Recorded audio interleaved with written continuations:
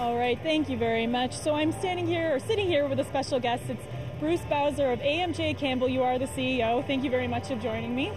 Pleasure to be here. Thank you. Tell me a little bit about uh, what you're doing here today, a little bit about what AMJ Campbell is all about. AMJ Campbell um, has been part of the, this community for a number of years, and uh, in particular today we're celebrating the Canadian military and acknowledging um, some of the folks that have come out to, to the game. So we've had a, a long-standing relationship with the, with the Canadian military. I was involved in a, um, setting up a charity called Canada Company that raises money to provide scholarship funds for children of fallen soldiers. So um, we've got, um, over the course of the last four years, raised several million dollars to help fund that. So pretty cool initiative. And, you know, I think when um, myself personally, uh, grew up in, in, the, in a military family. Uh, Scott Abbott, who owns the team here, has been a big supporter.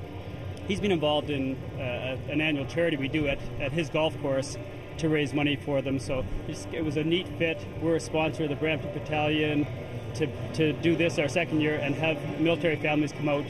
Uh, it's very cool for us. And today, uh, especially cool, I don't know if you caught it, but the dropping of the puck was one of our office managers, Kathy Harwood, whose son is going over to Afghanistan. So it's just extra special today to do this. So it's uh, you donated 100 tickets to the Canadian Forces members. You were here as well uh, last year. How many years have you been doing this now? This is our second year of doing this event with the Brampton Battalion, but we've done it at, at um, other community arenas and events. Um, across the country where we've, we've encouraged our branches to have military nights. And I think a lot of corporations and a lot of um, organizations in Canada are doing the same thing where they're trying to recognize um, you know, the, the efforts of the military. There are so few vets left, World War One, World War Two vets.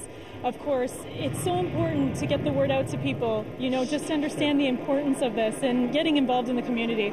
Yeah, I think it's um, you know, unfortunately, when we're in conflict and we're losing soldiers, it creates um, awareness. And one of the things that our organization is trying to do is to make sure that um, you know, even when our soldiers come home from conflict, that we still have that level of pride and support for the military and their families, and, and we've had a lot of success with it. So very exciting for us, and we're glad that we can be a little part of it. Oh, thank you very much, Bruce. Really appreciate you being here and chatting with me this our, afternoon. Our pleasure. Thank you. All right, enjoy the rest of the game because we do have the second period coming up right after this.